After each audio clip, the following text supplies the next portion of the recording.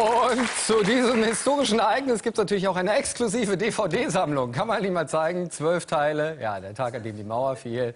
1, 2, 3, 4, 5, 6, 7, 8, 9, 10, 11, 12. Und äh, tolle Extras sind auch noch drauf. Ja, ein 180-minütiges Interview mit Roswitha Mauer. Äh, Helmut Kohl und hier Gorbatschow kommen auch noch zu Wort. Das sind ja die, die damals der Mauer wieder aufgeholfen haben. Und äh, toller Song, Roswitha Mauer featuring Hasselhoff, Looking for Freedom ist auch noch drauf. Lohnt sich. Ab heute äh, im Handel und der Spiegel ist natürlich auch gleich auf den Zug aufgesprungen, kennt man ja. ja. Wir haben ihn nämlich schon hier, den Spiegel von morgen, so sieht der aus, kann man Ihnen einmal zeigen. Ja, der Tag, an dem die Mauer fiel. Toll. Was sonst noch äh, Historisches und Bedeutsames diese Woche passiert ist, sehen Sie jetzt abgehakt. Die Woche aus der Sicht der Nachrichtensendungen von Matthias Grübel. Guten Abend. Meine Damen und Herren, willkommen zu den Nachrichten. Da hilft kein Getrommel. General Motors schlägt zu. Die verarschen uns. Ist äh, an der Nase herumgeführt. Das ist unverschämt.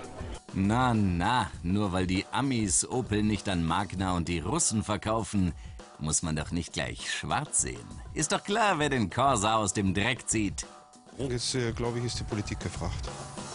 Genau. Bei uns ist die Opel-Rettung Chefsache. Die Erfolgsstrategie steht schon seit September. Geduld, Zielstrebigkeit, auch Klarheit aller Ressorts der Bundesregierung, aber auch von mir persönlich haben. Ja, und wenn die Amis jetzt meinen, sie können uns auf der Nase rumtanzen, schicken wir unser Wirtschaftsministerle. Ich erwarte, dass Sie umgehend schnell Ihre angekündigten Restrukturierungspläne auf den Tisch legen. Und ich glaube, er wird dem ursprünglichen Magna-Plan recht ähnlich sehen.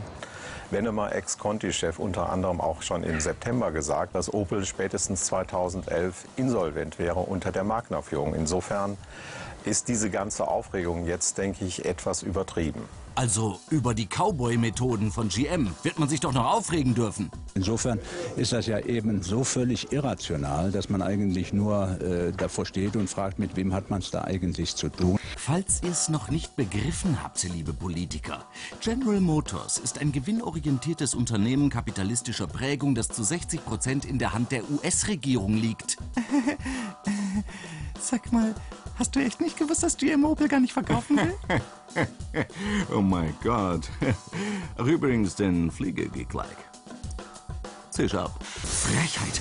Herr Wirtschaftsminister. Denn einen solchen Umgang mit Arbeitnehmerinnen und Arbeitnehmern acht Wochen vor Weihnachten ist in keiner Weise hinnehmbar. Hm, nach Weihnachten wäre schöner.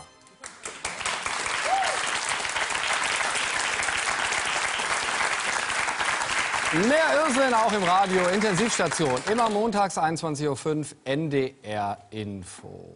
Sie haben es ja gerade gesehen, das war keine schöne Woche für die Bundesregierung. Erst die Opel-Blamage und dann auch noch die Schreckensmeldung, dass nächstes Jahr 13 Milliarden Euro weniger in die Steuerkassen fließen. Das sind schwierige Zeiten. Aber trotzdem lassen sich Angela Merkel und Guido Westerwelle nicht so einfach von ihrem Versprechen abbringen, die Steuern zu senken. Nur weil sie vor einem Haushaltsloch mit den Ausmaßen des Grand Canyons stehen. Nein, nein. Steuersenkungen kann man ja auch auf Pump finanzieren. Und gegen Pump und Verschuldung haben sich Merkel und Westerwelle vor der Wahl ja auch nie ausgesprochen. Oder etwa doch? Klaas Budenschön erinnert sich. Wie erklären Sie, dass man dann auf Pump und nichts weiter ist es, was Sie vorgeschlagen haben, auf Pump ein Vorziehen der Steuerreform verantworten kann. Hüten Sie sich davor, zu schnell das süße Gift der Schulden zu nehmen. Dann ist das vor allem natürlich auch ein Drama für die etwas Jüngeren, die diese Schulden eines Tages zurückzahlen müssen. Sie vergewaltigen die Zukunftschancen der jungen Generation. Das ist unanständig. Meine Damen und Herren, das ist eine Versündigung an den Interessen der zukünftigen Generation. Das ist die Wahrheit. Das ist unverantwortlich. Hier werden immer neue Schulden gemacht zulasten künftiger Generationen. Wachstum auf Pump, so wie wir es jetzt hatten, ist doch nicht die Antwort. Und trotzdem werden neue Schulden gemacht. Das ist keine gute Nachricht für die junge Generation. Wir dürfen nicht weiter auf Pump leben in einer alternden Gesellschaft. Wir wollen keine Steuersenkungen auf Pump.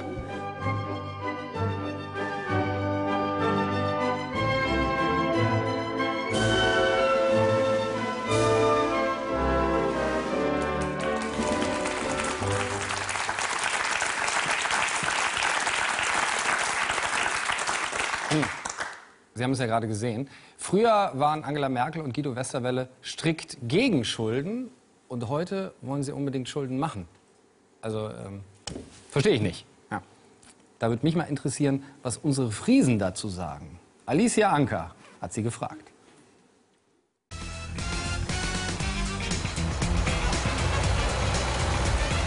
»16 Uhr, Lindenhof.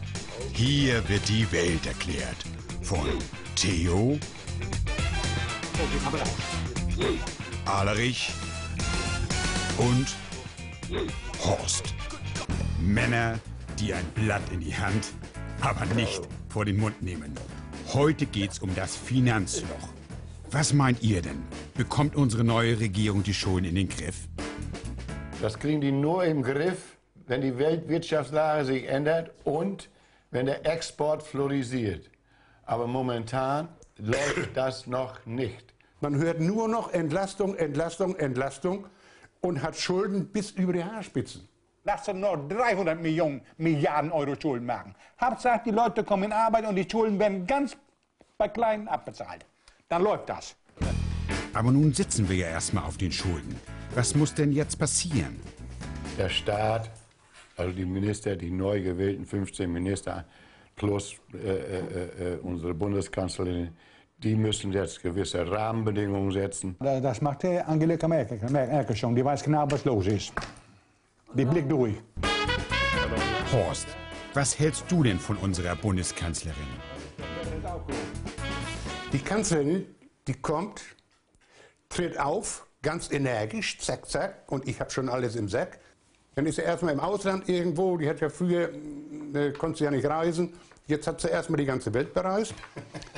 Und äh, dann kommt sie wieder zurück. Und dann kommt ihr Satz, wir sind auf dem richtigen Weg und das ist der richtige Weg. Und dann ist sie wieder weg. Na ja, aber es gibt ja noch die Minister. Einige von denen sollen ja sogar Ahnung von ihrem Fach haben. Ich sage so wie den Rösler. Das finde ich ganz gut. Der ist Arzt gewesen.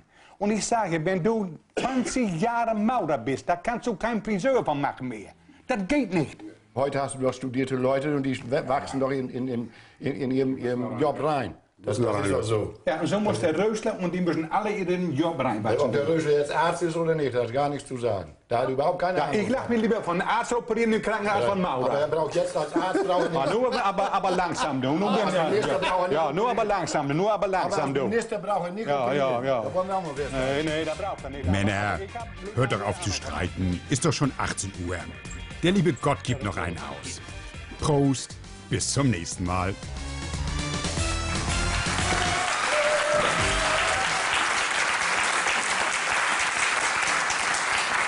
Die ganze Sendung in voller Länge gibt es auch nochmal als Podcast auf unserer Internetseite. Jetzt eingeblendet hier www.x3.de. Ansonsten mehr Satire, auch morgen früh im Radio in der Enjoy Moin Show. Und jetzt geht sofort weiter mit unseren extra drei Stars Dennis und Jesko. Bis nächste Woche.